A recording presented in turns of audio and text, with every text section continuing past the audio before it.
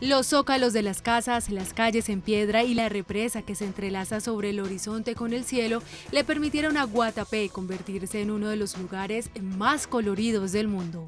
Esto es una ventana al turismo internacional, dado que representa parte de nuestra cultura, el tema de los colores, pero también el tema de los zócalos. Entonces es una, una puerta que se nos abre para promocionar a Guatapé en el tema turístico a nivel mundial.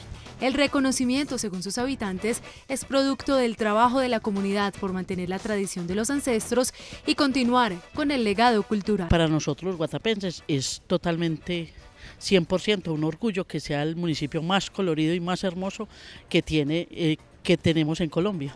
La distinción otorgada a este municipio se dio a través de una publicación del diario El País de España.